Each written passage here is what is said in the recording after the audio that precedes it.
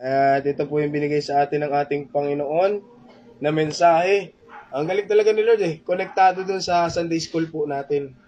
Hindi kami nag-usap ni Pastor Bong. Pero ang Diyos po ang nagbibigay ng mensahe sa bawat isa po sa atin. Dahil ito yung pangangailangan. Yun eh. Yung ang kagandahan mga kapatid na meron tayong buhay na Diyos. Ibinibigay po yung pangangailangan ng kanyang mga anak. so, ito po mga kapatid. Yung wala dyan, nangangapit bahay yun.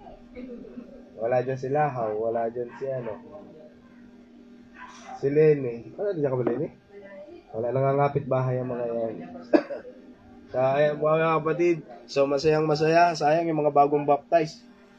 Ah, hindi natin nakasama. Pero sa susunod, kasi medyo hindi sila pinayagan ng magulang nila. At yung mensahe mga kapatid, eh, torn in the flesh. Alam niyo kung kanino yan. Sa mga matatagal na nagbabasa ng Biblia, alam nyo kung kanino yung turn in the flesh na yan. Tinik sa laman. Pero, may gusto kong i-share sa inyo mga kapatid. Kilala nyo po ito?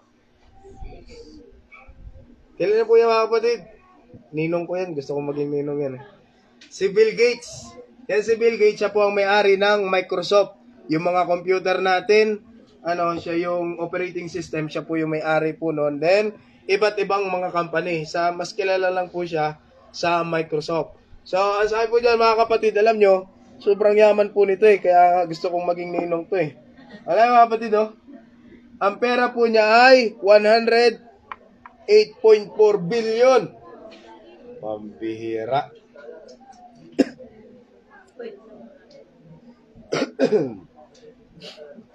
At sabi po dito, si Bill Gates po, siya po ay per day kumikita po siya ng 10 10 million per day.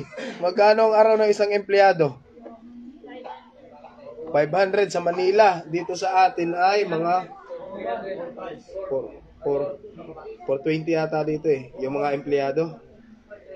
420 sa government, 420. Ako ay nasa government dati. Ang araw ko ay 412.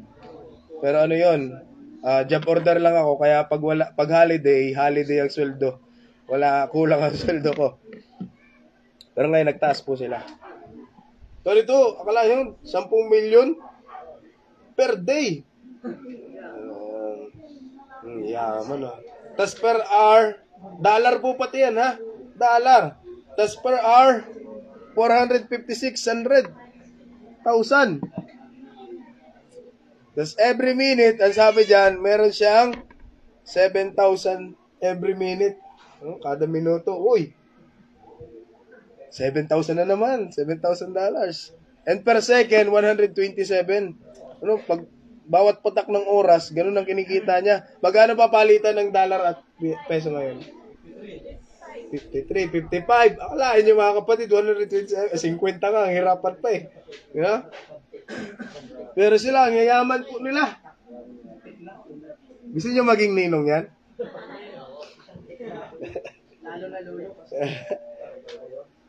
Wag, ah, titingnan niyo po yung ano, buhay ni Bill Gates. Siya rin nagsimula rin sa ano, mahirap. Siya po ay nag ano lang, drop out yun, drop out ng Harvard. Pero pag nasa Harvard ka, matalino ka. Ibig sabihin, hindi ka basta-basta pwede makapasok doon sa Harvard. Pag medyo kingkoy-kingkoy ka sa pag-aaral. So si Bill Gates, mga kapatid, mayaman ito. Sabi niya, he is a son of a farmer. Siya ay mag-ano lang kanyang ano, farmer lang. Ang kanyang magulang. So, ang kasunod po ay si, ito, kilala niyo ito. Kilala niyo po ito mga kapatid? Si Jeff Bezos. Jeff Be- Si kumpa daw, ano eh. Malapit na nga. Ah, sarap din maging ninong to. Amen. Si Jeff Bezos, siya po yung may pinakamala, ah, siya po ang nagmamay-ari ng Amazon. Kaya nung nagkaroon ng pandemic, nag yumaman siya po ng yumaman dahil ang mga tao bawal lumabas. Yung Amazon, ang kaparehas po sa atin, parang Lazada at Shopee. Ganun po yan. So, nung nagkaroon ng pandemic, bawal lumabas, ang ginawa nila, nag-order sila, nag-order sa Amazon. Yumaman po siya nung yumaman, kaya ang sabi doon, ah, nung pandemic, nung 2020, siya po ay naging pinakamayaman sa buong mundo. At si Jeff Bezos, At ang kanya pong net worth ay 148 billion US dollar. Grabe. Ang sabi niya, per week, kumikita po siya ng 1. ah, 1.75 billion per week, linggo-linggo. Talagang naliligo na ito sa pera. Or per day ay 25 to 250 million per day. Wala yung laki ng ano nito. So, meron po siyang iba't iba pa rin yan. Marami pa rin siyang business, hindi lang Amazon. Ganyan po kasi, yung mga businessman, hindi yan, natu- hindi yan na, hindi yan ako kontento sa isang business. Once na nagkapera yan at nagkaroon ng kapital, nagpupundar yan ng panibagong mga businesses. Ito, kilala niyo po yan. Sino yan? Yan po ay si Elon Musk. Si Elon Musk yan. Siya po ang may-ari ng Tesla, saka SpaceX. At siya rin po ang co-founder ng PayPal. May mga PayPal sa inyo. Co-founder po siya. Ano sabi po dyan mga kapatid, meron siyang 259.6 billion. At sabi dyan mga kapatid, every day kumikita po siya ng 41 Sabi nga nung isang nakakita ko, isang komentaryo mga kapatid, isang nag-comment, ang ilang ano, ilang billion ng tao sa mundo? 7 or 8. Kung bigyan niya ng tigi isang ano yan, yung billion mga kapatid, sobra pa. Ang tao mga kapatid. Pero ganyan sila eh. Pero makita niyo ba si Elon Musk ay galing din to sa broken family. Pero naging matalino lang siya. Ah, 10 years old, nakabili siya ng computer, natuto siya mag-code. Matatalino yung mga yan. Natuto siya mag-code hanggang sa, siya is from South Af- Africa. Tapos ang nanay niya ay Canadian. Pumunta dito. At yan, mga kapatid. Alam niyo yung Tesla car, yung ah, electric car, kanya po yun. So dito ay parang nagdadala pa lang kasi ang ating sa Pilipinas ay hindi pa ganun ka katulad sa Amerika. So ito po mga kapatid yung ano mga taong masasabi po nating merong kayang ipagyabang. Ay, hirap itong yabangan. Pag ganitong ako meron akong rep sa bahay. Ah, rep ka ba sa bahay? Okay. Okay lang yan mga kapatid. Kahit yabang-yabangan mo yung maghapon, tatawanan ka lang ng mga yan. Kaya kang bilhin nan. So, sobrang laki ng pera nila mga kapatid. Pero, sila man, marami man silang pera. Ah, alam mo mga kapatid, ito sa Elon Musk, pinapanood ko rin yung buhay na. Pinagbenta niya yung mga mansion niya. Para ding ano, para ding, ano, pinagbebenta niya yung, ay, yung kanyang mansion. Tapos, bumili lang siya ng isang, parang studio type, na doon na lahat. Studio type, parang mas malaki pa nga ito, eh, mas malawak pa ito. Maliit lang yung bahay niya, pang solo lang kasi siya tumitira doon sa sa sa SpaceX, doon sa kanyang company. At sabi doon na nagre-renta siya, nagre-renta din siya doon sa loob. Ah, napakasimple lang na tao, pero mayaman pala. Kaya yung iba, ang sabi nga nila, yung iba nga medyo hindi ah, pinalad sa buhay, kung makaporma, kala mo siyang mayaman. Ang dami mga palasingsingan din eh. Dami mga kwintas-kwintas. Pero yung mga mayayaman, makita mo, paulit-ulit ng damit. Ah, kasi si, kilala na si Mark Zuckerberg, yung may-ari ng Facebook. Pata, panay gray ang damit nun, paulit-ulit lang, gray, itim, gray, itim. Tapos, ano, pero yung mga, si- sila kasi iba yan mag-isip, mga kapatid, yung mga businessman. Sabi nga nila, yung mga hindi magaling sa pera, pag may dumating na pera, gastos lahat yan. Pero yung mga mayayaman, yan po yung nag-iisip kung saan mag invest So, ayos lang. Ayos lang na mayaman sila. Ayun. Hindi man nila tayo kilala. Okay lang. Pero sila mga kapatid, pwede silang magyabang. Kayang-kaya nila magyabang sa atin. Dahil ah, kaya nila, lahat ng ah, gugustuhin po nila, mabibili nila. Sinong gusto makaranas ng maging bilyonaryo sa isang araw? Ay, parang bibilhin mo na lahat yata yan ah.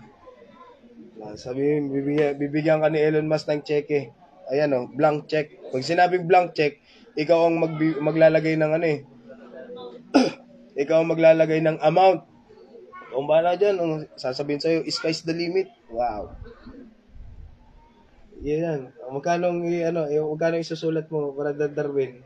Bigyan ka ng blank check. Ako ilalagay ko pa sa ano, trillion ilalagay. Trillion. O, mas mayaman ka pa sa kanya. Ah. Blank check eh. Ilang check. Joke lang, basta. so sa atin, mag-iisip tayo, oh, ano, paano kaya pag namuhay ako ng, sa isang araw, bigla akong naging milyonaryo o bilyonaryo, ano kaya ang gagawin ko? Ano kaya ang bibiling ko? Siguro yung bahay natin ay punong-puno na, yung mga kapatid na mga nabili natin. So, sila po mga kapatid, kahit anong ah, ah, gustuhin po nila, makukuha po nila yung mga bagay na halos lahat ng bagay kaya niyo pong bilhin.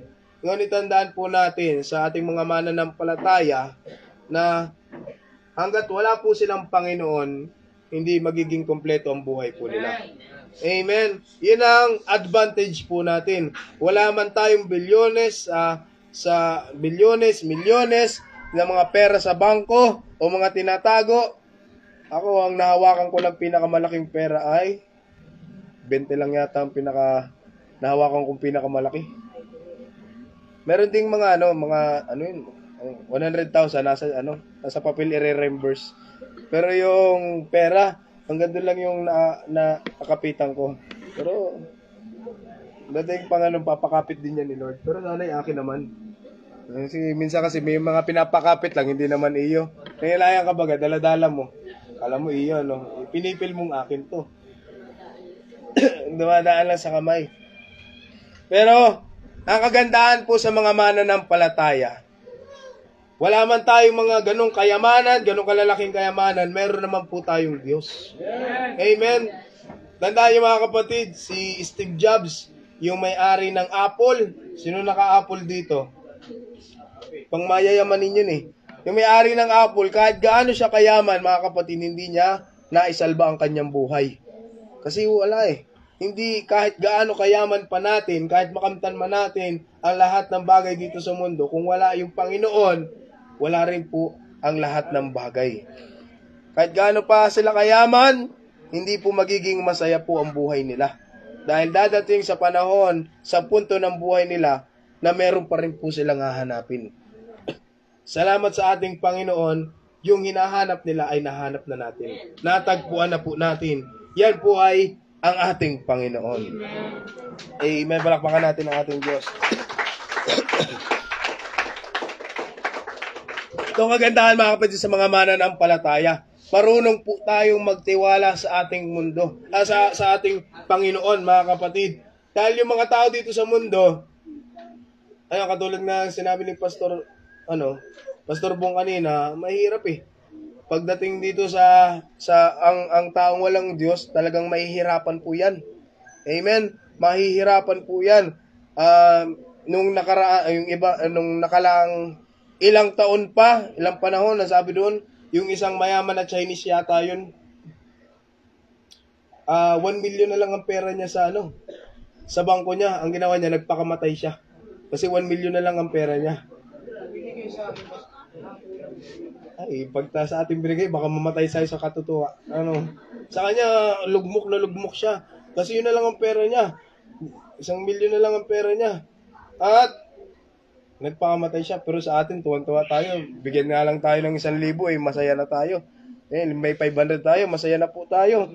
Mailibre lang tayo sa inasal, masaya na tayo. Parang may maglilibre yata dito. Amen, amen ah. Pero sa atin mga kapatid, mga mananampalataya, meron man o wala, ang Diyos ay sapat na po sa atin. Amen. Mawawala eh, kasi yung mga bagay na yan, yung mga pera na yan, ang sabi nga, temporal lang po yan, hindi yan permanente. Ang lahat ng mga bagay po dito sa mundo, yan po ay temporary lang, hindi po yan permanente. Kaya mas, ang sabi nga ng Biblia, na kailangan mag-impok tayo sa langit, wag dito sa lupa. Amen.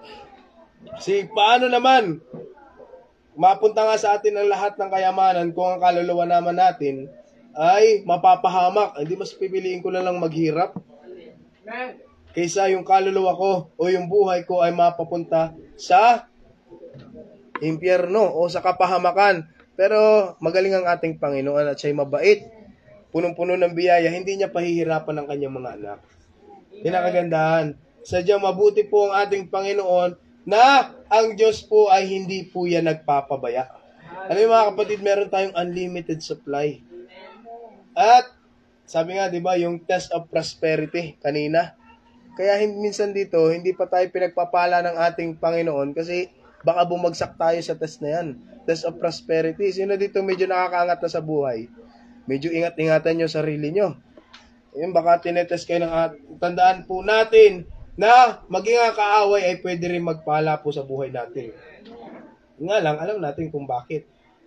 Para sirain po yung buhay natin, sirain ang pananampalataya natin.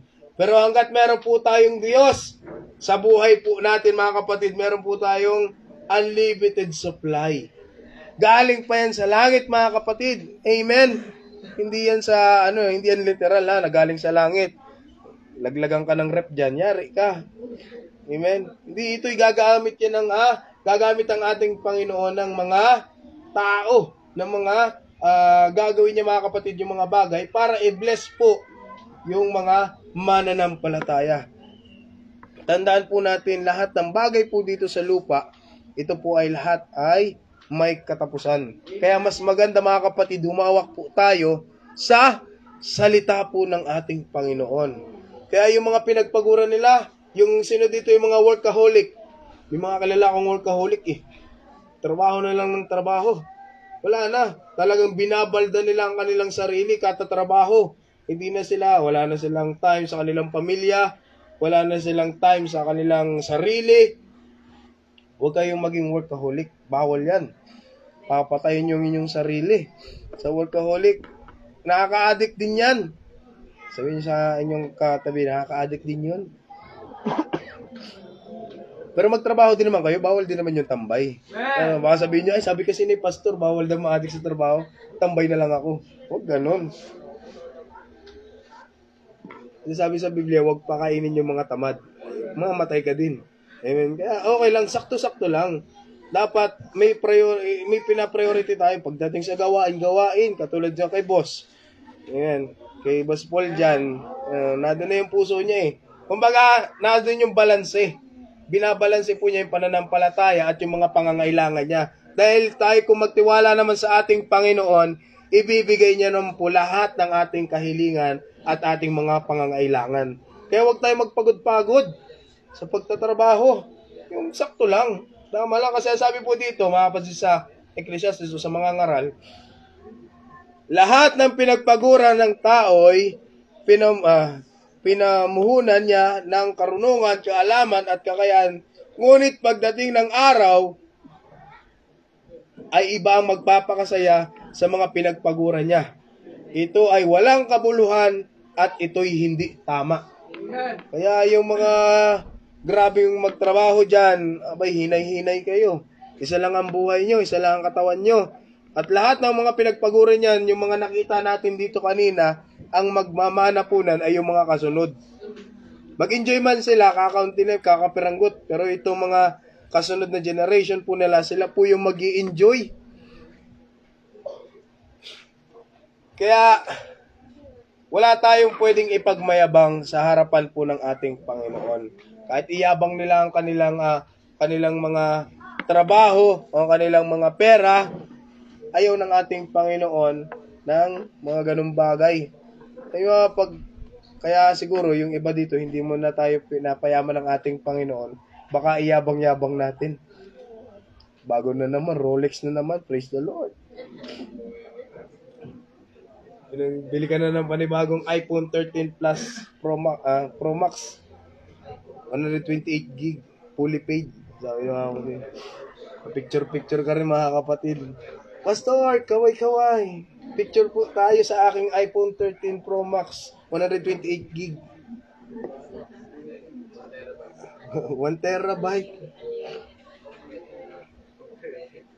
Kaya siguro hindi tayo mga kapatid. Kasi ayaw lang ating, alam mga kapatid, sa atin mga mananampalataya, minsan hindi binibigay ng Diyos yung ating mga, ah, uh, kasi alam niyo mga kapatid, ang Diyos, nagbibigay din po yan ng, uh, sabi natin, pwede yung mga luho po natin. Minsan nagbibigay ng ating Panginoon pag natutuwa sa pangangailangan po natin. Pero hindi lagi yan. Kasi minsan, ah, 'di ba sa pag ano natin, sa pag ah, sa paglilingkod natin, ipino-provide ng ating Panginoon yung pangangailangan natin. At minsan yung mga previous na tinatawag, yun yung luho naman natin. Lord, parang gusto ko ngayon magkaroon ng panibagong cellphone. Lord, i-bless niyo ako ng panibagong cellphone. Minsan 'di ba, ibinibigay yan ng ating Panginoon kasi natutuwa siya sa pag ah, sa pananampalataya po natin sa pagsunod. 'Di ba? Ganun din naman sa mga ah, sa magulang at sa mga anak Minsan kahit hindi kailangan ng anak natin ng bagong sapatos, binibilhan natin kasi natutuwa po tayo kasi ang ano, masipag sa pag-aaral o masipag sa bahay, natutuwa tayo sa kanya, kaya binibilan natin kahit hindi pa niya kailangan. Ganon din ang ating Panginoon. Pero ang Diyos mga kapatid, minsan, um, ang Diyos, yan ay matalino. Hindi po yan pwedeng uh, uh, dayain ng tao kasi baka minsan mag, may mga binibigay sa atin ng ating Panginoon, baka biglang ipagyabang natin. Yan ang ayaw ng ating Panginoon, yung magiging mayabang. Sabi nga natin, pagiging mayabang. Giging mayabang. Bawal yun. Amen. Huwag tayong magyabang. Kasi sabi po sa Santiago, ngunit ang Diyos ay nagbibigay ng higit pang pagpapala. Kaya sinabi ng kasulatan, ang Diyos ay laban sa mapagmataas. Ngunit pinagpapala niya ang mga mapagpakumbaba. Kaya once na bigla, bi- binigyan tayo ng pagpapala ng ating Panginoon, huwag nating ipagyabang-yabang sa ating ano. Kung may gusto tayong ipagyabang, ipagyabang natin ang ating Panginoon. Lord. Kasi minsan, natututunan natin itong mga bagay na ito, yung pagyayabang, kahit sa spiritual eh. Pag sa spiritual, si Pastor, wala naman siya eh. Si Pastor, ah, sa Pulanggi, si Pastor, Pastor Maynard, mga kapatid, ang sabi niya noon, sa pananampalataya, meron po siyang gift of healing. Dahil nag-ooperate po sa kanya yung gift of healing, ano nangyari po? Ang sabi niya, naipagyabang niya. Ah, meron akong gift of healing kasi ah, kung sa mga nakakilala kay Pastor Maynard, medyo mano yun eh, kingkoy ba? Makulit siya. Pero siguro, lumabis yung kanyang pagiging makulit na dumating sa pagkakataon na parang naipagyabang niya yung kanyang gift. Kaya ang sabi doon mga kapatid, tinanggal yun sa kanya ng ating Panginoon. Kaya yung may mga bagay na hindi nararapat, na ipagyayabang natin, pwede po yan tanggalin ng ating Panginoon. Kung ipinagyayabang natin ang ating trabaho, at hindi na natin napapriority ang ating Panginoon, pwede yan tanggalin sa iyo ng ating Panginoon. Kaya mag-ingat tayo sa mga pinagyayabang natin o sa mga pinapriority natin. Pwede po yan tanggalin ng ating Panginoon. Kaya, minsan napapalo tayo ni Lord eh. Pag medyo mayabang na tayo, napipitik yung ating mga tenga, "Hmm, yabang mo na naman. Ha? Yayabang-yabangan kasi natin eh. Kaya bigla tayong pinapahambol ng ating Panginoon. Kaya, sa mga mananampalataya, huwag tayong magyabang. Amen. Dapat walang mayayabang na mananampalataya. Amen. Mga humble lang po tayo. Huwag tayong hambog. Iba po kasi yung salitang humble sa hambog. Ano po? Huwag tayong magkakamali. Kaya ito pag-usapan po natin. Itong may isang ah, ah, isang sitwasyon po mga kapatid o isang tagpo ng kay Pablo. Nagsulat po siya sa taga Corinto. Ang sabi po dito, kailangan kong ah, upang magmalaki kahit wala akong pa, mapapala dito. Ang sinabi ko naman ngayon, ang mga pangitain at mga pahayag mula sa Panginoon. So si Pablo mga kapatid, nakakakita po siya ng mga vision, revelation, galing po sa ating Panginoon. At sinong naghangad na niyang ganyan mga kapatid? Yung gusto niyo, Lord, bigyan niyo mo ng gift of revelation ba? Gift of sa prophecy. Kasi mga prophecy, mga nag-prophet, nakikita nila yung mga hinaharap o sila yung kinakausap ng ating Panginoon. Kaya, sabi dito mga kapatid, si Pablo meron po nan. Pwede siyang magmalaki mga kapatid. Pero hindi niya po yan ginawa. At ang sabi niya, may nakita po siya. May kilala akong isang kristyanong na dinala sa ikatlong langit. Ibig sabihin, meron pa lang ano, ito pag-usapan natin ng konti, meron pa lang tatlong stage ng langit. Ano sabi niyan mga kapatid sa theology, ang unang langit ay yung nakikita natin pag nataas tayo. Pag natingin tayo sa langit, ano may nakikita natin? Alapaap. Then ang pangatlong langit ay yung nasa outer space. Yung kawalan. Di ba? Yun na, kung nasan yung mga planeta. At yung pangatlong langit ay yun na dun yung ating Panginoon. May three stages of uh, heaven mga kapatid. Kaya ang sabi dito, may kilala ako isang Kristiyano na dinala sa ikatatlong langit. Labing apat na taon na ang nakakalipas, hindi ko lang matiyak kung i- iyo'y isang pangitain lamang o tunay na nangyari. Nangyayari, ang Diyos lamang nakakaalam. Pero pagbabasahin po natin ang Revelation, si John, si Juan po yun. Yung sinasabi po ni Pablo na nakarating sa langit. Di ba kaya nga nakita niya mga kapatid yung ano eh, nakita niya yung mga ah, pangitain po. So, si si John po ang sinasabi ho dito, si Juan, na isang Kristiyano nakaakyat sa langit. Kaya, ang sabi ng mga scientists, pumunta, di ba may mga nagko-comment, nakaakyat kami sa langit, wala naman ako nakitang Diyos. Wala akong nakitang Diyos. Sabi ng isang comment, tanggalin mo yung helmet mo, makikita mo ang Diyos. Ano natin, walang oxygen dun sa, ano, eh, sa, sa kalawhakan patay, makikita mo talaga si Lord. So, at sabi sa 3, alam kong iyon ay dinala sa paraiso. Hindi ko lang alam kung yan ay isang pangitain o tunay na pangyayari. Tanging Diyos ang nakakaalam. So makita po natin sa mga pangungusap po nito na talagang na, nakaka, meron po siyang gift na nakikita po ni Pablo yung mga ganyang bagay. At sa 4, nakarinig siya ng mga bagay na hindi kayang ilarawan ng salita at hindi maaaring sabihin ni numan. Ay mga kapatid, pag pinag-aralan po natin ang Revelation, itry nyo. Basahin, kunti lang naman ang ano eh, Revelation eh, kunting chapter lang naman, nasa 20 plus lang naman eh, ang Revelation. Basahin nyo po yan, may makikita kayo parang mga halimaw, yung ganitong tunog. Pero kung pag-iisipan po natin, ah, parang helicopter to ah. Baka, kasi wala pa noon eh. Hindi pa nag-exist yung mga ganung bagay. Pero pag titingnan po natin, basa, try nyo mga kapatid, basahin nyo yung Revelation sa mga nakapagbasa na.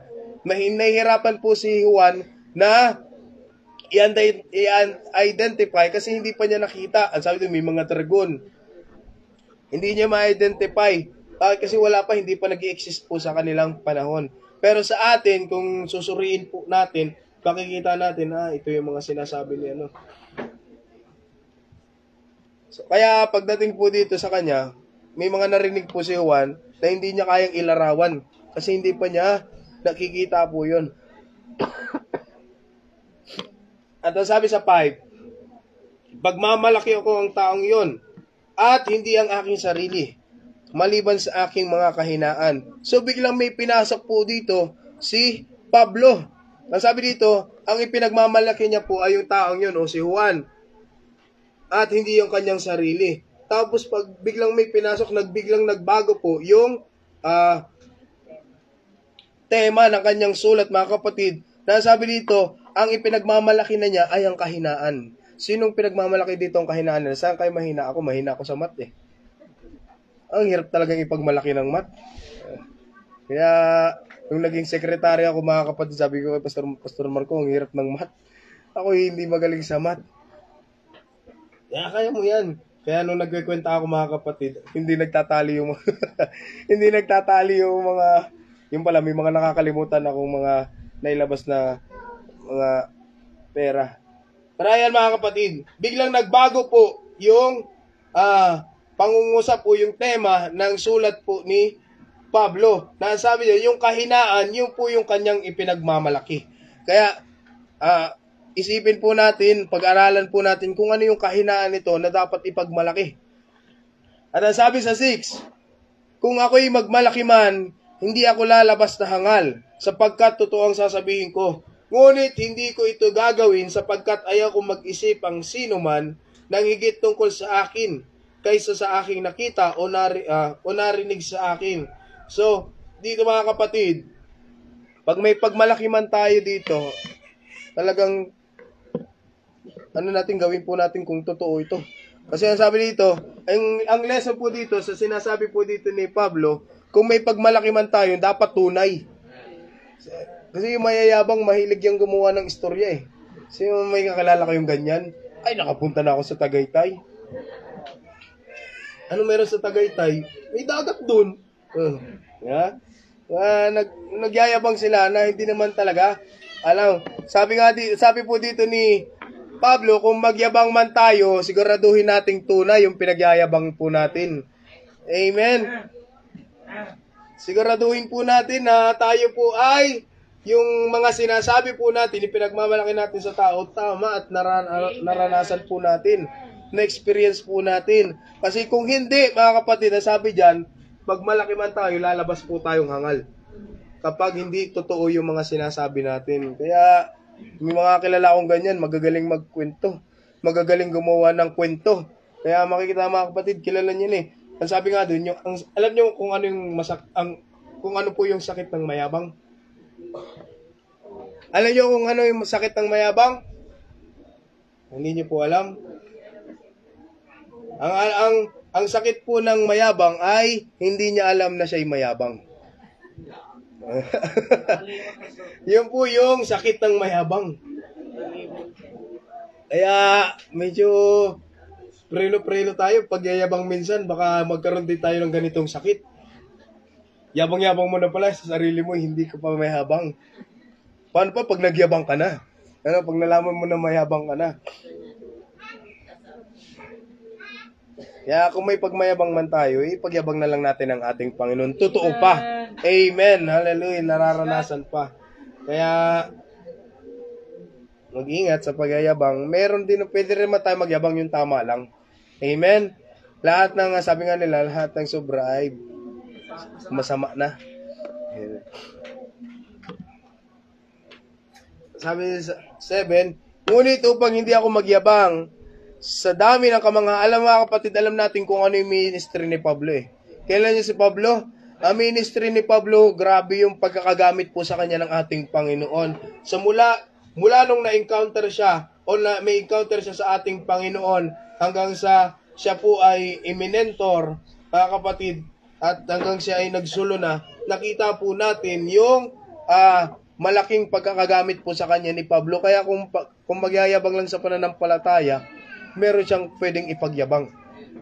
Kasi siya po yung nag, ang sabi dito, siya po yung nag-evangelize sa mga hintil. Ibig sabihin sa mga hindi Israelita. Siya po ang nangaral sa mga yun. At marami po ang naligtas. Kaya sa Revelation, meron mga churches. Galing po yun sa ministry ni Pablo. Pero ang sabi dyan, kailangan hindi pa rin magyabang. Kasi iyaw ng ating Panginoon sa mga mayayabang. Sabihin nyo nga, ayaw ng ating Panginoon sa mayayabang. Ah, parang ayaw nyo na sabihin. Ah. Masabi nga, sabihin nyo sa mga katabi, ayaw ng Diyos sa mayayabang. Amen. Kaya sabi po dyan mga kapatid, ngunit upang hindi ako magyabang, sabi ni Pablo, para hindi siya magyabang sa kanyang sarili, sabi niya, ngunit upang hindi ako magyabang sa dami ng kamanghamanghang bagay na nasaksihan ko, ako'y binigyan ng pahirap sa aking katawan na nagsisilbing sugo ni Satanas upang pahirapan ako at nang gayoy hindi ako maging palalo. Ganyan pala yan mga kapatid. Sa isang mananampalataya, mas lalo na sa mga ginagamit ng ating Panginoon, yung matinding pagkakagamit po sa kanila, binibigyan pala yan mga kapatid ng tinik ng ating Diyos. Bakit? May purpose para hindi po sila magyabang. Amen? Para hindi po silang magyabang. Kahit gaano katalino ng isang mangangaral, ng isang mananampalataya, bibigyan at bibigyan po yan ng tinik ng ating Panginoon para malaman nila na hindi sila pwedeng magyabang sa harapan ng ating Panginoon. Si David, meron po siyang tinik. Ano yung tinik niya mga kapatid? Sa babae. Nahulog po siya. Sibat siba. Yun po naging tinik sa kanya mga kapatid. Pero yun din po yung nagpa-realize sa kanya mga kapatid na talagang dapat sumunod po siya sa ating Panginoon. At maganda po yung naging ending niya. Meron siyang tinik eh. Amen. Sino pa ba yung mga mananampalataya sa Biblia na alam niyong merong tinik mga kapatid? Si Samson. Kahit gaano siya kalakas, dun din siya, babae din pala. Yun din ang tinik niya mga kapatid. Ang tinik niya ay yung kayabangan. Mayabang po kasi si Pablo. Ay, si ano? Si Samson. Mayabang po si Samson, mga kapatid. Kasi malakas siya eh. Long hair yun. Pero sa ano sa sa atin bawal yung long hair na lalaki. Si Samson, kaya po long hair yun para maipaliwanag po natin. Kaya long hair yun kasi may covenant yun. Nasa rin po ang tawag yun, Nazareno. Yun ay covenant po na hindi, ah, kumbaga, inalay na siya sa ating Panginoon, na magsuserve siya sa ating Panginoon.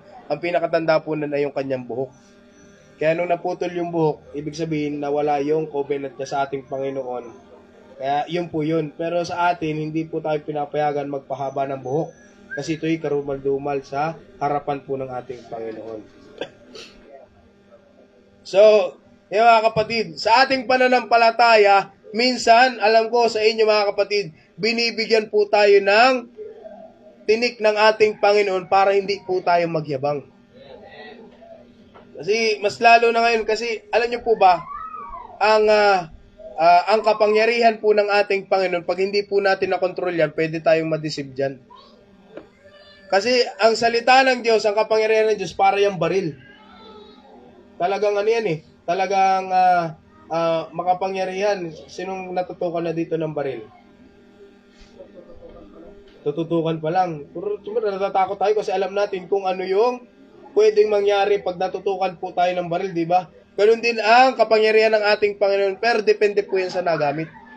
Ang salita ng ating Panginoon. Kaya may makikita po kayo ng mga tao na nangangaral gamit ang Biblia pero iba ang kanilang pakay para payamanin ang kanilang sarili para sa mga sarili lang kagustuhan. Kaya ang Bible magagamit yan para yung ah, para po yung baril. Pero salamat sa Diyos nasa atin po may guide po tayo. Dala man natin ang Biblia pero tama yung itinuturo po natin. Dala natin ang salita at kapangyarihan ng ating Panginoon pero nagagamit po natin ito sa tama. Kasi maraming mga tao na nagkaroon lang ng ano eh, iba kasi yan pag naluklok na sa isang ano, sa isang ah, halimbawa naging pastor na, ibig sabihin may kapangyarihan na siya sa mga tao. Ibig sabihin, kumbaga, nire-respeto na siya ng tao.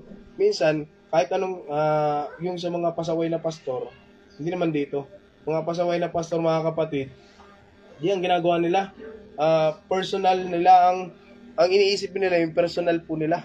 Akala nila, ating sa ating Panginoon pa yung ginagawa nila pero yung pala ginagawa nila yung mga bagay na yun sa kanilang sarili. Kaya tayo ay pasalamat tayo sa ating Panginoon, binibigyan tayo ng mga tinik minsan para biglang ma-realize natin, oy, mali na pala itong ginagawa ko. Ganon din sa mga mananampalataya, sa ating mga mananampalataya, nag, ah, ah, tayo po ay ginugusto po natin na lumago tayo sa pananampalataya, kaya mararamdaman po natin, mararanasan natin minsan na parang mayroong tinik sa pananampalataya natin. Hindi tayo kagad makabuelo. Bakit? Kasi parang merong masakit. Pag natin kay masakit. Sino natinik na dito sa paa? Ah, yung nasa dagat, ano nga po ba yun? Si Orchin, nasa taga si Orchin. Tuyom ay, ano yun, ang tuyom ay, ano, Bisaya yun eh. Ah, tuyom sa ano, tuyom sa, sa masakit yun. Ako'y nadali na ng ganun mga kapatid, ang hirap lumakad. Liit malit lang yun eh. Pero masakit. Ganun din sa pananampalataya. Hindi tayo kagad makausad pag tayo minsan ay merong mga bagay na masyado na tayong pinagyayabang. May kakilala akong ganyan. Buti na lang ay nakabalik na siya sa pananampalataya. Sabi nung nag, naging pastor na rin siya eh. Ang kwento ng buhay niya mga kapatid, siya ay galing lang sa ano eh. Galing lang sa simpleng ma- mananampalataya pero matalino. Sobrang talino mga kapatid. Kaya mahirap din pala yung maging matalino ng sobra. Buti na lang, binigyan ako ng, binigyan tayo ng saktong ano, saktong pag-iisip. Yun mga kapatid, talagang matalinong matalino. Then, ang sabi doon, nung nagpastor po siya, ah, parang ano siya, ah, assistant pastor, ibinig ah, pina ah, ipinahawak sa kanya yung isang church. Ang daming na ano, ang daming na baptize. Ang sabi diyan, parang anim na buwan 100 na agad ang kanyang nabaptize. So, sobrang ano niya, magaling siya mga kapatid sa tao. Magaling din siya mangaral para siyang evangelist. Yun nga lang mga kapatid, yung pride. yung pride mga kapatid, hindi niya na nakita ang kanyang sarili dahil siguro akala niya gagamit-gamit pa siya pero hindi na siya marunong tumanaw ng mga payo sa mga nakakataas sa kanya. Kaya bigla siyang bumagsak mga kapatid. Pero ngayon, salamat sa ating Panginoon, nakakabawi-bawi na. Nakakabawi-bawi na. Kaya sa atin, pag masyadong nalargahan po tayo, ang Diyos bigla yung mali. Bigla tayong hinihilay, oo, teka lang, teka lang, hindi ka pa para dyan. May mga ganyang pagkakataon. Kaya sabi sa sa sa Psalms, thy road and thy stop, ah, sa Matthew ba na yun? Road and thy stop, they comfort me. Psalms nga, mga kapatid. Alam niyo yung road, yung stop, mga kapatid, yung po ay pamalo yun. Pamalo, tapos ang dulo po nun, mga kapatid, parang tungkod. Tungkod yun. Road. Tungkod po yun na ang dulo po nun ay paganyan, parang payong. Kasi pag may pasaway na may pasaway na tupa, isa, ay sasakalin nyo sa leeg yung mga kapatid, hihilahin yun. Kasi pasaway. Ganun din sa ating mga mananampalataya. Minsan masakit ang pagpapalo ng ating Panginoon pero para sa atin po yan. Minsan binibigyan tayo ng tinik ng ating Panginoon pero para sa atin din po yan. Amen. Amen. Ang sabi po sa commentary, yung tinik na sinasabi po mga kapatid, yung thorn in the flesh na sinasabi po na meron po si Pablo, ito po yung kanyang mata. Malabo po yung kanyang mata. Kaya nung pagsulit niya sa Galatia ba yun, sa huling pahina mga kapatid, sabi nung malalak, akong sumulat ito, kaya malalaki. Mahina po yung kanyang ah, paningin, malabo ang kanyang mata. Yun po yung naging ah, tinik po ni Pablo para hindi po siya magyabang. Kaya sabi pa nga dito, tatlong beses kong idinalangin sa Panginoon na alisin ito. Ngunit, ganito ang kanyang sagot. Ang kagandahang loob ko ay sapat na para sa iyo, sapagkat lubos ang nahayag ang aking kapangyarihan kapag ikaw ay mahina. Amen. My grace is sufficient for thee. Ang sabi niya mga kapatid, ang kagandahang loob ng ating Panginoon, kaya wag po tayong magtaka kapag tayo mga kapatid ay bumabagsak sa pananampalataya o may sitwasyon sa buhay natin na nahihirapan tayo, inaalaw po yan ng ating Panginoon upang makita po natin ang kanyang kapangyarihan. Kasi mahihirapan po tayong makita na ang Diyos ay makapangyarihan kung tayo ay malakas din. Kaya ginagamit ng Diyos ang ganyang mga pagkakataon na tayo po ay dumadaan sa panghihina para maranasan o makita po natin ang kapangyarihan po ng ating Panginoon. Pag nagkasakit tayo, hindi mo masasabing ang Diyos ay nagpapagaling kung wala naman tayong sakit. Amen. Amen? Hindi mo matetes yung iyong pananampalataya. Hindi mo matetes yung iyong faith kung nagana ba, kung wala ka namang sakit. Sino nag-pray dito ng may sakit at kumaling? Sana all. May pinag-pray ako namatay.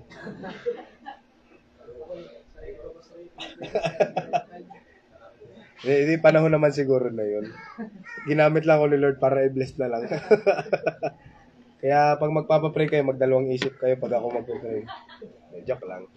Kaya mga kapatid, kasi sinasabi ko naman doon sa prayer ko, Lord, ang kalooban mo mangyari. Ay, yung kalooban ni Lord ay namatay. Uh, wala lang magagawa doon. Hindi naman ako Diyos. Nag-pray lang naman ako eh. Kaya hindi masakit sa damdamin pag may, namam pag may nagpe-pray akong namamatay. Kasi sabi ko, Lord, kalooban mo mangyari. Ay, ginagamit lang ako ng Panginoon. Bale, mga tatlo na po sila. Kaya, okay na din. Simula nung pagdating ko dito sa Sariaya, mga kapatid, talagang ano na sila eh. Bumilang na sila, yung isa tagapili. Pinag-pray ko mga kapatid, siguro yung, ano na, yung lesson sa kanyang ano. Parang ano lang eh, parang driver siya. Ang sabi nila ay, meron lang pigsa ba? Parang pigsa lang. Yung pala pigsa sa loob. Kumalat na siguro mga kapatid. Pinag-pray ko yun. Kasama ko po si Sister Nessie, saka si Sister Annie. Punta po kami doon. Nakatricycle. Wala pang service nun eh. Wala pang mga sasakyan. Punta po kami doon. At pinag-pray ko. Sabi pa nga sa akin ng mga kapatid nung asawa, ay, ano ba, darling ba o ano, kung ma- basta yung tinawag niya yung asawa niya sa nandito si pastor, papagalingin ka. medyo nagulat ako mga kapatid, natakot ako. Ay, hindi po ako nagpapagaling. Ang Panginoon po nagpapagaling. Kaya itinama ko, baka kasi ang pananampalataya ng tao ay nasa akin. Kaya ako'y walang kapangyarihan. Ang kapangyarihan nasa akin ay galing sa ating Panginoon. Kaya pinagpray ko, kung ano yung usual na gagawin, pinagpray ko mga kapatid. Kinasunod na linggo, bago ako umalis sa bahay, pinagpray ko talaga, Lord, yung pinagpray po namin sa pili, pagalingin niyo naman po. Makita ang kapangyarihan niyo sa buhay niya. Pagdating ko dito mga kapatid, sinabi sa akin ni Sister Nessie, yun ang bati sa akin si Sister Nessie, Pastor, yung pinagpray niyo, patay na. Pinagpray-pray ko pa. patay na pala yung aking. Kaya, pero, basta naisip ko noon, ang sabi ko, ang kalooban ng Diyos ang mangyari. Kaya, okay lang. Tapos kasunod mga kapatid, si Pastor, ah, si Pastor Don, may kinonfine po dyan sa memorial. Medyo natakot ako noon eh. Kasi, yung huling pinag-pray ko namatay, baka mamatay din to. Ang kasama ko po si Joven, saka si Pastor Beloy. Si Beloy na pinag-pray ko. Pero akong pinakisuyuan po ni Pastor Don. Si Pastor RJ, ipag-pray nyo naman yung kapatiran namin dyan sa ano, sa memorial. Kasi ano, may sakit siya. Bata pa, bata pa mga kapatid, bata pa. Wala pang sampung taon. Parang nagkaroon lang, tinamaan lang ng sakit. Kaya medyo natakot-takot ako. Ang pinag-pray ko yung ano, si Pastor Beloy, yung nasa Mayaw ngayon. Pag-pray niya mga kapatid, tapos ilang araw, binalitaan kami, patay na din. Nakaligtas naman ako, hindi naman ako yung nag-pray. so mga kapatid, ay yung dito naman, kay Sister Vicky, bata din, wala din. Kalooban din ni Lord ang nangyari. Basta kalooban ni Lord ang nangyari. Yun na, wala na. Pero may ilan talaga mga kapatid na ipinapakita ng Diyos yung kanyang kapangyarihan. Minsan talaga, kahit nga patay na eh, nabubuhay pa. Amen. May kapatiran tayo dyan sa Lucena. Patay na siya ng 15 minutes ba yun o... Pero pinag-pray mga kapatid, yung si Sister Susan, kapatid rin sa Lucena. Nabuhay hanggang ngayon, buhay mga kapatid. Oh, si Susan Lalisan. Nabuhay mga kapatid at hanggang ngayon nagpapatuloy, panibagong buhay. Kaya ang Diyos walang imposible sa ating Panginoon. Kung ano loobin ng ating Panginoon, gagawin po yan ng ating Diyos mga kapatid. Matuto lang po tayo talaga. Kapag oras na, naka, pag oras na, wala na tayong magagawa. Ipakiusap man natin yan, si David nga eh. Di ba, ipinakiusap niya kay anak, pero talagang patay na eh. Kaya kung ano yung kalooban ng Diyos, yun na lang, tanggapin na lang natin. Pero nataon naman sa akin tatlo eh. Tatlong nataon sa akin. Pero siguro naman sa susunod ay papanalangin ko'y buhay. buhay na siguro. Ka- basta kalooban ni Lord ang mangyari. Ayun. So, ay mga kapatid, sa kahinaan, diyan natin nakikita ang kapangyarihan po ng ating Panginoon. Praise the Lord. Kaya ito ang sabi ng ating Panginoon, nangihina man tayo, dumadating man tayo sa panahon, amen na tayo ah, sa pananampalataya o sa buhay po natin ay nagkakaroon ng pagbagsak. Ito yung pagkakataon na mas kailangan nating hanapin ang ating Panginoon upang masilayan po natin ang kanyang kapangyarihan. Kaya ito yung pinagmamalaki po ni Pablo eh. Sinabi niya kanina yung kahinaan niya, yun ang ipinagmamalaki niya. Bakit? Sa kahinaan po niya, dun po niya mas lalong nakikita ang kapangyarihan po ng ating Panginoon. Amen. Kaya pinaparanas yan sa atin ng Diyos. Amen. Kahit nagpe-pray tayo na, Lord, wag mo akong pahinain sa pananampalataya. Lord, wag mo akong bibitawan sa paglilingkod. Lord, wag mo akong hayaan na mahulog sa mga ganitong pagkakataon. Pero minsan, ang Diyos mismo, inaalaw niya, tinitingnan niya kung paano tayo magre-response sa mga sitwasyon na kinakaharap po natin. Bilang tao, mahina po talaga tayo. Aminado po tayo dyan. Pero mas nakikita po natin ang kalakasan ng kapangyarihan ng ating Panginoon pag ang Diyos na kumikilo sa panahon na po tayo ay nanghihina.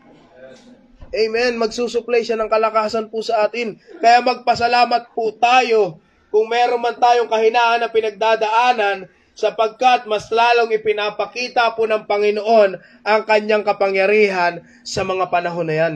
Kaya ang, ang dapat na attitude kapag tayo ay sa pananampalataya ay medyo nanghihina, nanlalamig, bumabagsak, ang tamang attitude o dapat dapat nating gawin ay mas lalong lumapit po sa ating Panginoon. Amen. Kailangan mas lalo po tayong lumapit sa ating Panginoon upang mas lalo nating maranasan ang kanyang pagkalinga, ang kanyang pag-ibig. Hindi natin masasabi sa ating buhay na tayo ay ah, mananampalataya hanggang sa dulo ay hindi tayo manghihina. Walang ganyang panana, walang ganyang mananampalataya. Pinapadaan po talaga tayo ng ating Panginoon. Ang kailangan lang po natin gawin, kumapit lang po tayo sa ating Diyos. Wag na wag po tayong bibitaw sa ating Panginoon. Kahit anuman ang mangyari, wag na wag po tayong bibitaw sa ating Diyos. Sabi na, di ba? Sabi ng Psalms 23, Though I walk in the valley, shadow of death, I will fear no evil, for thou art with me. Amen?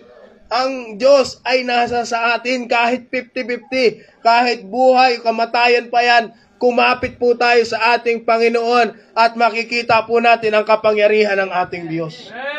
Amen. Tandaan po natin yan. Kasama yan eh. Flavor yan sa buhay natin. Yung mga, di ba? Flavor sa buhay natin, kainin mo yung paminta. Paminta lang ang kainin mo. Sino na mamapak dito ng paminta? Napakagaling nyo, ano? Sino na mamapak ng paminta? Wala. Hindi nyo pa napagtripan yung paminta. Ano pa ba yung pwede natin papakin? Bawang, may namamapak ko talaga ng laurel. Hindi na mamapak ng laurel. Para kayong ano dyan.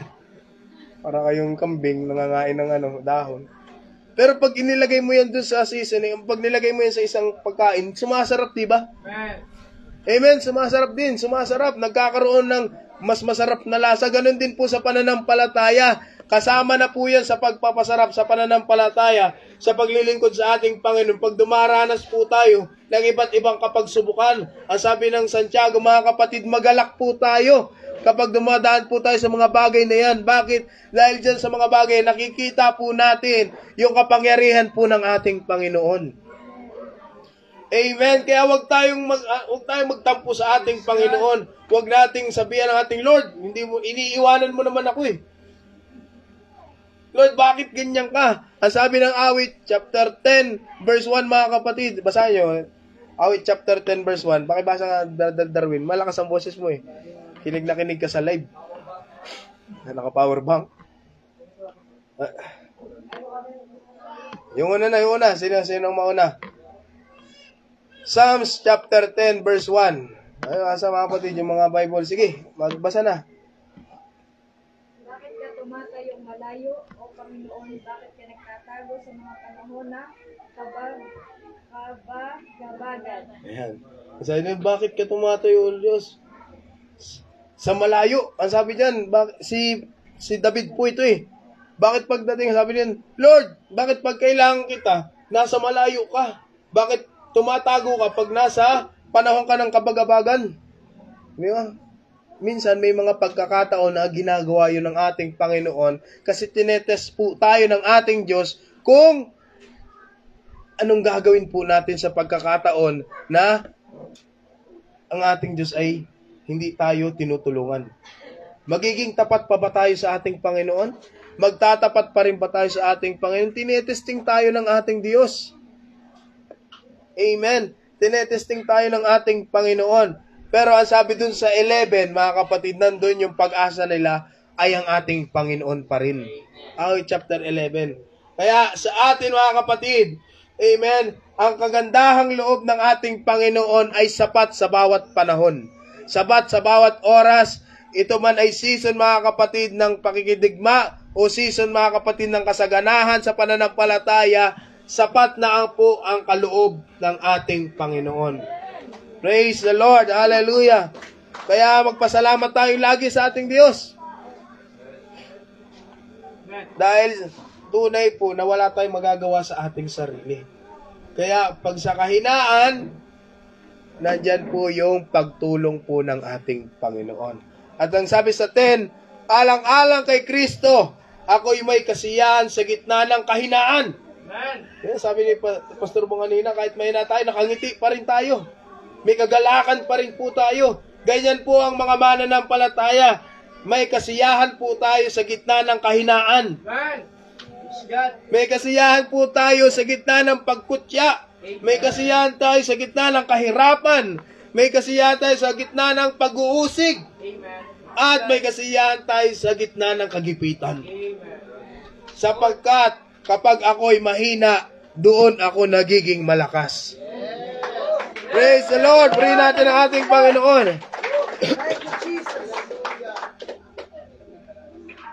na doon ang blessing ng ating Panginoon eh. Kaya huwag kang magtaka pag binibigyan ka ng mga tinik sa iyong pananampalataya. Maging masaya ka mga kapatid katulad ni Pablo kasi nakikita mo ang kalakasan na dulot ng ating Panginoon. Mas lalo po tayong pinapalakas ng ating Diyos. Kaya lagi tayong maging masaya. Ang mga tunay na Kristiyano lagi ang palangiti. Amen. Siya, pakit, patingin daw ng inyong mga inyong magagandang ngiti.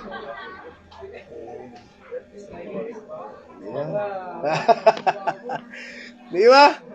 Tayo masayahin kasi tayo mga kapatid. Amen. Tayo ay masayahin kasi alam po natin, dumaan man tayo sa iba't ibang uh, kahinaan o iba't ibang uh, uh, sa pananampalataya, pagsubok sa pananampalataya, meron tayong Diyos na magpapalakas po sa atin. Praise the Lord! Kaya, ang sabi dito, kapag tayo dumadanas na yan, ikot din natin yung sinabi po ni Pablo, kapag ako'y mahina, doon ako nagiging malakas. Amen! Doon tayo nagiging malakas. Pag manghina man tayo, doon tayo bibigyan na ng lakas ng ating Panginoon. Bilang isang tunay na Kristiyano, may mga bagay, ano may, eh, may kagalakan po tayo sa lahat ng bagay. Marunong tayo maging masaya sa lahat ng bagay, mga kapatid. Marunong po tayo makontento sa ating buhay. Kasi nga may kagalakan yan eh. Sino dito mga kapatid na nakaranas na na hindi na alam mga kapatid kung ano yung uulamin niya sa susunod na hapunan? Pero nakangiti pa rin kayo. Lord, wala na po akong pananghalian. Naubos na ngayong umagahan. Lord, eh, pero nakangiti, maga, masaya pa rin tayo. Mas lalo na nung dumating yung provision ng ating Panginoon.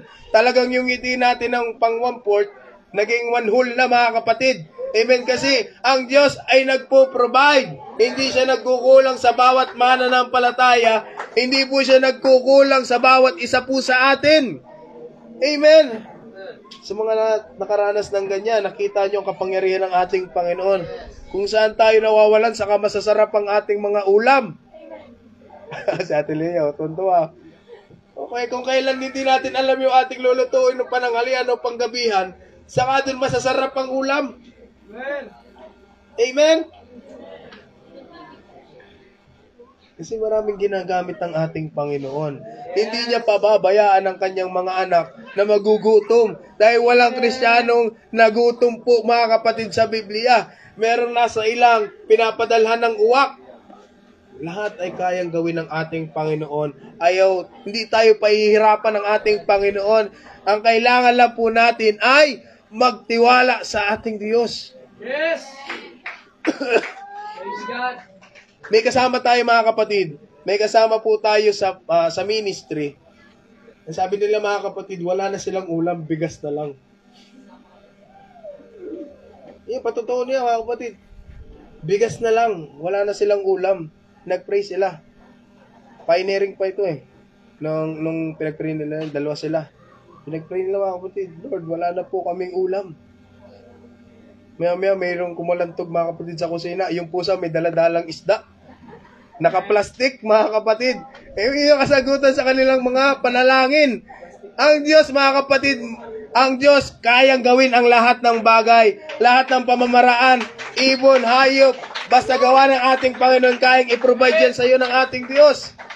Amen. Kahit kaaway mo, kaya kang gamit, ga, kayang gamitin ng Diyos na pagpapala yun para sa iyo. Yes. Amen. Ngayon, yung kwento ni Pastor Bong, Lord, salamat na kahit jablo, ginagamit mo. Para, di ba? Kasi tayo mga kapatid, marunong po tayong makontento. Yun yung isa sa mga ah, katangian pag tayo isang mana ng palataya. Marunong tayong makontento sa lahat ng bagay dahil ang buong pagtitiwala po natin ay nasa ating Panginoon lamang. Ano yung mga kapatid kung ano yung damdamin ng ating Panginoon nung siya ipapako sa krus? Yan ay punong-puno ng kagalakan. Though ang kanyang appearance mga kapatid talaga, kasi tao eh. Nasa ano pa eh, nasusugatan, nahihirapan. Pero ginawa niya ang mga bagay na yan na punong-puno ng kagalakan. Bakit? Sapagkat alam ng ating Panginoon na kapag natapos niya yung kanyang ano, na, ah, yung, yung pagkapako sa krus, Amen. Kapag natapos yun, maraming kapatawaran sa kasalanan. Maraming mapapatawad ang kanilang mga kasalanan. Kaya sa atin mga kapatid, dumadaan man tayo ngayon sa iba't ibang pagkakataon, ito man ay dahil sa problema o dahil meron tinik sa ating pananampalataya, huwag po tayong bibitaw at huwag tayong titigil sa paglilingkod po sa ating Panginoon. Dumaan, mo, dumaan man tayo sa iba't ibang klaseng pagsubok, mga kapatid, tandaan po natin, dadaan tayo sa ganyang sitwasyon, ngunit mas lalo nating makikita ang kadakilaan ng ating Panginoon. Ialaw mo lang na mangyari at dumaan sa iyo. Pero hindi hindi ka iiwanan ng ating Panginoon. Ang sabi ng Diyos, hindi kita iiwanan, hindi kita pababayaan. Yan ang pangako ng Diyos para sa atin, mga kapatid. Kaya isang tunay na mananampalataya, marunong po yan makipagbaka. Marunong yang ipanalo ang kanyang pananampalataya. Amen. Amen.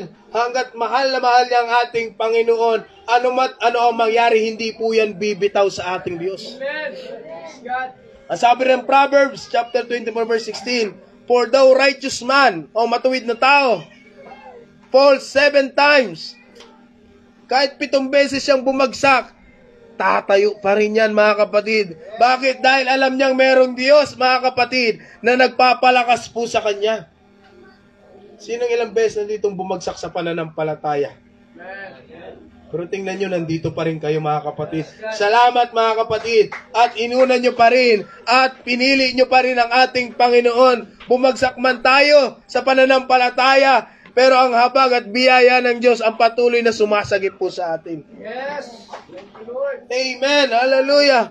Ano sabi mga kapatid sa Isaiah chapter 41 verse 13? Ako ang Panginoon na inyong Diyos. Magpapakal ah, magpapalakas sa inyo. Ang ako ang nagsasabing huwag kayong matakot at tutulungan ko kayo. Bumagsak man tayo mga kapatid, pero mga tayo pinagdadaanan sa pananampalataya, ito ang pangako ng ating Panginoon. Huwag tayong matatakot. Amen, huwag tayong matatakot dahil tutulungan po tayo ng ating Panginoon. Mismo ang Diyos na po ang nag-offer na tayo'y tutulungan ng ating Panginoon. Hindi niya sinabing tutulungan kayo ng aking mga anghel. Personal, mga kapatid, sinabi ng ating Panginoon, tutulungan ko kayo. Amen. Mismo ang kamay ng ating Panginoon ang siyang hahawak po sa atin. Bumagsak man tayo, tayo'y itatayo po ng ating Panginoon. Amen. Hallelujah. Di ba napakagandang pangako yan? Minsan nagtatampo pa tayo, Lord, bagsak na ako, wala pang hair sa akin. Wala pa rin, Lord, na pumapansin sa akin. Bagsak na ako sa pananampalataya. Huwag kasi yung ibang isipin mo, ang isipin mo yung ating Panginoon. Mas maganda kung ang Diyos mismo ang mag-aahon o magtatayo po sa ating Amen. pananampalataya. Praise God. Minsan kasi gusto nung, may mga Kristiyano kasi medyo nagpapalambing eh. Lord, hindi ako hindi ako inano ni pastor. Hindi man lang ako minessage ni pastor. Hindi man lang, man lang ako minessage ni elder o ni leader. Hindi man nila ako message Lord, bakit ganun? Bakit ganun, Lord? Hindi mo lang na pinapansin. Alam nilang nangihina ako. Hindi man nila ako pinapansin. Praise the Lord, kapatid, kung hindi ka mamapansin ng mga tao, merong Diyos na papansin po sa inyo. Amen. Yan po ang pinakamaganda na kapag ang Diyos ang nakapansin sa sitwasyon mo. Dahil hindi lang yan mga kapatid sa inaasahan mo. Sabi niya, may inaasahan tayo, itatayo tayo ng ating Panginoon, itatayo tayo ng mga kasama natin sa pananampalataya. Mas higit pa doon ang gagawin ng ating Panginoon. Kaya huwag po tayong matakot. Dumaan man tayo sa iba't ibang pagsitwasyon ng ating buhay. Amen. Kutyain man tayo o namang ipadaan po, iparanas po sa atin, huwag tayong matatakot. Tutulungan po tayo ng ating Panginoon. Kaya ito yung huling verse, mga kapatid, Micah 7.8. Huwag mo akong pagtawanan. Kaaway ko. Mabuwal man ako, muli akong babangon. Nasa karimlan man ako, ngayon, ang Panginoon ang aking liwanag. Amen. Dumating man tayo sa pagkakataon, mga kapatid, na bumuwal tayo sa pananampalataya. Mabagla- malaglag tayo, mga kapatid, sa kadiliman. Pero ang Diyos ang magiging tanglaw po natin. Ang Diyos ang tutulong po sa atin, mga kapatid. Ibabangon po tayo ng ating Panginoon. Kaya pag dumadaan po tayo sa mga ganyang sitwasyon, o merong nakakaranas ngayon dito, mga kapatid, na na sila ay nasa ah, sitwasyon, mga kapatid, na parang nawawalan sila ng gana sa pananampalataya. Nawawala na yung init mo sa pananampalataya. Ito yung mensahe para sa iyo. Ito ang mensahe ng ating Diyos, mga kapatid, na tayo po ay patuloy na kumapit dahil tutulungan tayo ng Diyos. Amen. Huwag tayong matakot kahit naka, nasa kadiliman tayo o nasa, nasa yung ating sitwasyon ay hindi maganda. Ang Diyos ang magiging liwanag para sa atin upang makabangon po tayo. Amen. Hallelujah. Meron nga isa dyan mga kapatid, may isang kwento. May dalawang lalaki na sila ay nasa ano eh. Sila po ay nasa gubat. Yung isa biglang nahulog sa nahulog siya sa ah, bangin. Sabi ng mga kapatid, hindi hindi siya maabot eh, kasi sobrang dilim, gabi yun eh, sobrang dilim. Yung lalaking nahulog, nakakapit siya doon mga kapatid sa sa dito, sa sa sa ugat. Ang Sabi nung nasa taas, huwag kang ano, sin, huwag kang bibitaw. Huwag kang bibitaw. Kumapit ka lang. Kasi hindi natin alam kung ano yung nasa ilalim. Kaya sabi nito, ang sabi nung dalawa, ang gawin na lang natin, mag-pray na lang tayo. Mag-pray tayo sa ating Panginoon na hindi ka mamatay o hindi ka mahulog. Kaya ang ng isa mga kapatid, buong lakas niya, nanalangin siya sa ating Panginoon. Kasama yun natin sa taas, nanalangin silang dalawa. Hanggang sa dumating mga kapatid, siguro nakapagpahinga, nakatulog yung nasa taas, yung isa naman ay medyo napahimbing, Na- pero nakakapit pa rin siya. Yung pagdating ng araw mga kapatid, ganyan lang yung, ganyan lang pala kataas yun. Na dito yung paa niya, nakakapit siya, lalaglag ganito lang pala mga kapatid. Kaya sabi doon talagang prayer works mga kapatid. Ang panalangin talaga sa ating Panginoon ay meron talagang epekto mga kapatid. Kung, kasi sa mga ganyang pagkakataon, amen? Ilagay natin sa sitwasyon ng pananampalataya. Minsan kasi akala natin, pag nasa kadiliman po tayo, mawawala na tayo, mawawasak na talaga ang buhay natin. Minsan pala, inaalaw yun ng ating Panginoon para magkaroon tayo ng faith sa ating Diyos. Kasi yung dalawang yun, kung hindi yun nanalangin, walang pananampalataya, baka namatay na yun sa takot. Ganun lang naman pala kataas yun. Hindi lang nila alam. Amen. May pagkakataong inaalaw yun ng ating Panginoon para magkaroon tayo ng matinding pananampalataya. Hindi ka pa ba magkaroon ng matinding pananampalataya? Nakakapit ka lang. Akala mo napakalalim ng bangin. Talagang magpe-pray talaga yun. Pati yung nandun sa ano, yung kasama niya, magpe-pray po talaga yun. Ganun din sa pananampalataya natin. Minsan may mga pagkakataon, akala natin babagsak na tayo ng sobra. Pero hindi. Tinig- giniga- ginagawa lang po yun ng ating Panginoon kasi tinitingnan niya yung iyong pananampalataya kung hanggang saan ka marunong sumunod sa ating Panginoon. Kaya wag po tayong matatakot. Hanggat hawak po tayo ng ating Panginoon, hindi tayo mahaano. Hanggat hawak ang hanggat hawak ng Diyos ang buhay po natin, walang makakagalaw po sa atin. Palakpakan po natin ang ating Panginoon, mga kapatid. Kaya sabi dito, huwag po tayong matakot. Tulungan tayo ng ating Panginoon. Sa pagdating ng kahinaan, ang Diyos ang ating kalakasan. Kung kailan ako nagiging mahina, doon ako nagiging malakas. Amen. Hallelujah. Salamat sa salita ng ating Panginoon. Mga kapatid, palakpakan natin ang ating Diyos. Hallelujah. Tayo manalangin, Panginoong Isus. Salamat God. Hallelujah. sa mensahe, Panginoon, na napakinggan ng bawat isa po sa amin. Nawa, Lord, hallelujah, na naging pagpapala, Panginoon, ng iyong mga salita at patuloy na paglago ng pananampalataya ng bawat isang aming dalangin, Panginoon, na kapag dumadaan kami, Lord, hallelujah, sa iba't ibang sitwasyon ng buhay namin, sa pananampalataya ay nandoon pa rin, Lord, hallelujah, na kami po'y kakapit at hindi bibitaw po sa inyong mga pangako, Panginoon. Kung ito man, God, hallelujah, ay naging tinik, ito yung mga tinik sa aming pananampalataya, kung ito man ay sadyang ipinapadanas niyo po sa amin, Lord, hallelujah, patuloy na maging tapat po kaming lingkod mo, Panginoon, upang hanggang sa inyong pagdating, God, hallelujah, ay patuloy na nakakapit kami sa pananampalataya at sa kaligtasan, Panginoon, hallelujah, na idinudulot niyo po sa amin. Pinupuri ka namin, sinasamba ka namin, in Jesus' name. Amen. Hallelujah. Tayo po'y tumayo mga kapatid. Hallelujah. Hallelujah.